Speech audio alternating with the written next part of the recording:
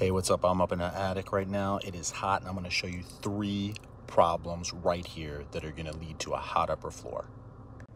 Uninsulated return duct, open flue chase, bad ventilation.